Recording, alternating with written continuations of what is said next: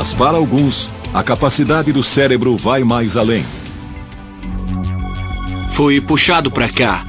É a ideia de que o cérebro tem um sexto sentido.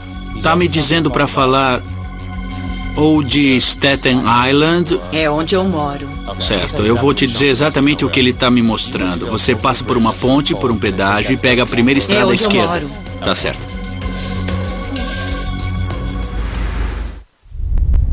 History. Os cinco sentidos são os portais entre o cérebro e o mundo externo. Recebemos sinais da nossa pele, olhos, nariz, língua e ouvidos. As diferentes áreas do cérebro interpretam essas informações como toque, visão, olfato, paladar e audição. Mas e se existisse um sexto sentido que nos permitisse entrar no cérebro de outras pessoas, prever acontecimentos ou transmitir mensagens dos mortos? Embora um em cada quatro americanos digam que acreditam em percepção extrasensorial, são poucos os cientistas que aceitam essa possibilidade. O Dr. Dean Radin pesquisa fenômenos mediúnicos no Instituto de Ciências Noéticas, no norte da Califórnia. Sua teoria é de que o cérebro humano pode ter capacidades extrasensoriais, embora demos outro nome. As pessoas costumam falar em intuição e costuma se manifestar enquanto a pessoa dirige. Temos a sensação de que algo está errado em certa curva e frequentemente um carro está vindo daquela direção. E nós aprendemos a prestar atenção na intuição. É como se a atenção avançasse alguns segundos para o futuro. Outra coisa é a sensação de ser observado, que costuma ser muito frequente. Mulheres costumam sentir que um homem está olhando para elas. Existe também a telepatia telefônica. Sem olhar para o identificador de chamadas, muitos ouvem o telefone tocar e sabem imediatamente quem é. Isso não é só quando é alguém que liga sempre, mas quando é alguém diferente. Então, por esses meios que esse sentido se manifesta no dia a dia. Afaste a mão um pouco. Isso. É um sinal muito bom. Muito bom. Acho que estamos prontos. O Dr. Radin testou mais de 300 voluntários em salas com proteção eletromagnética. Ele lhes mostrou uma série de imagens e mediu suas reações. Apresentamos em sequência aleatória imagens calmas ou turbulentas e outras imagens intercaladas. As imagens mais emotivas provocaram uma reação mais forte. Mesmo escolhendo os indivíduos aleatoriamente, o Dr. Radin constatou que todos reagiam adequadamente antes de verem a imagem. Pareciam saber antecipadamente que tipo de imagem veriam, mas o grau de capacidade mediúnica parecia variar. Saber antecipadamente que tipo de imagem veriam, mas o grau de capacidade mediúnica parecia variar. Nem todos conseguem jogar golfe tão bem quanto Tiger Woods, mas todos conseguem jogar um pouco. O que vemos no laboratório é que todos adivinham um pouco. E às vezes encontramos o equivalente a um Tiger Woods. Alguém está dizendo que foi enterrado com chiclete. Alguém disse isso. Enterrou alguém com chiclete?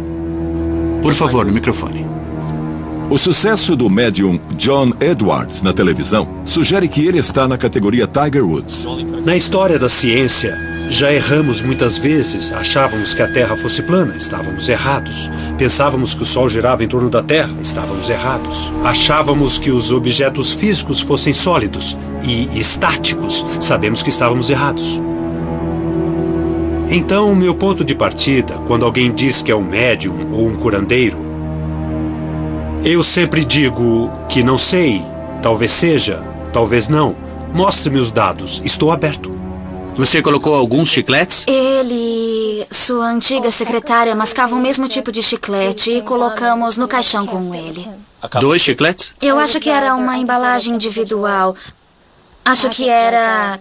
que era a bazuca que vem com os quadrinhos. É, é isso que eu estou sentindo. Era uma figura paterna para você. É o meu pai. E você ainda encontra a assistente Sim. dele? Ele quer que você brinque com ela. Tipo, ela não podia ter colocado mais? Ou o pacote todo?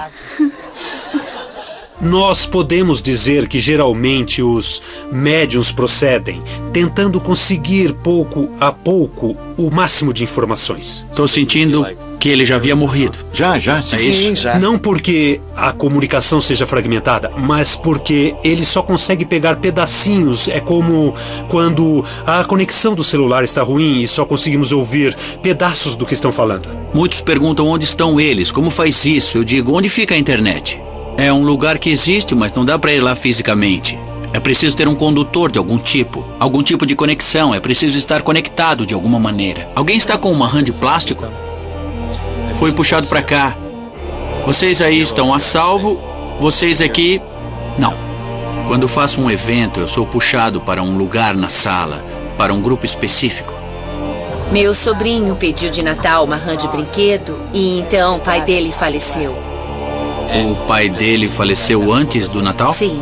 Quando eu ouço algo, não ouço com os ouvidos. Parece que vem de fora de mim, mas é como se eu ouvisse. Não. John foi um dos muitos médiums que concordou em passar por testes científicos na Universidade do Arizona. Você vai vestir uma touca com 19 eletrodos. Fiz três experimentos com o John Edward, um mais controlado do que o outro. No mais controlado de todos, os médiums e os voluntários foram submetidos a eletroencefalogramas e eletrocardiogramas. Um dos modos de resolver a questão de se o médium está lendo a mente do consultante ou está lendo a mente do falecido é registrar a atividade cerebral e também a cardíaca, o coração e o cérebro do médium, e simultaneamente a atividade cerebral e cardíaca do consultante. O médium não encontra com o voluntário e ficam separados por uma divisória. John e os outros médiums precisam obter informações sobre o parente falecido do voluntário. Vou dizer o que estou vendo, ouvindo e sentindo e pedirei que confirme simplesmente dizendo sim ou não. Tá bom. Bom, eles estão pedindo que eu fale sobre uma figura masculina ao seu lado. Pode ser seu marido ou um irmão que partiu. Está entendendo? Estou sim. Na verdade, são dois, são três. Eu sentei com algumas pessoas e não consegui ouvir nada. Sabe, eu não ouvi absolutamente nada. Eles quiseram saber o porquê. Eu disse, eu não sei, talvez seja eu, eu não sei. Então eu tirei zero nessa. Às vezes, John consegue informações corretas. Ou o consultante acha que ele estava errado e depois vê que estava certo. Ou o consultante não sabe a resposta, precisa entrar em contato com amigos e parentes e então descobre que ele estava correto. E vimos isso no experimento também. O índice de acertos de John variou entre 80% e 90%. E os aparelhos mostraram que suas ondas cerebrais e seu coração não estavam acompanhando os dos voluntários.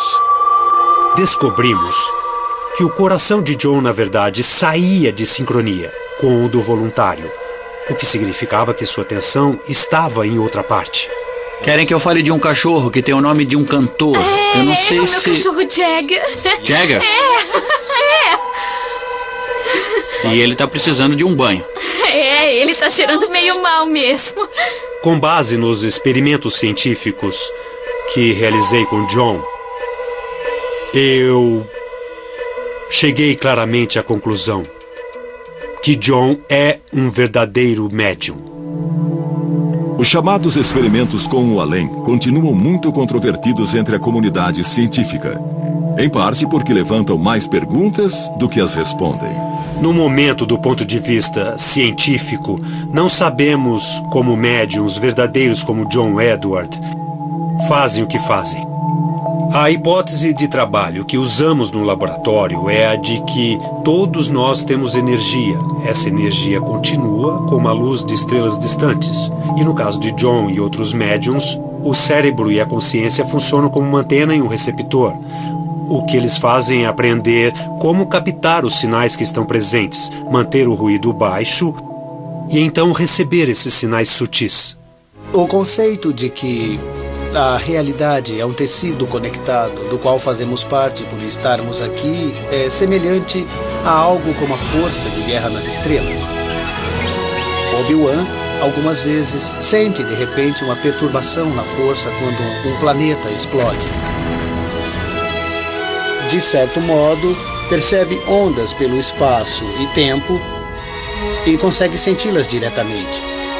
O fenômeno chamado percepção extrasensorial provavelmente opera de modo semelhante. A física tem um nome para essa conexão à distância. Chama-se entrelaçamento quântico. No momento, é só uma teoria que está sendo aplicada a elétrons e moléculas. Os cientistas ainda não sabem se podem aplicá-la ao cérebro. Mas a descoberta que pode confirmar a percepção extrasensorial pode vir antes que imaginamos. É muito difícil prever quando essas coisas acontecerão. Uh, eu diria talvez 20 anos. Algum momento entre amanhã e 20 anos.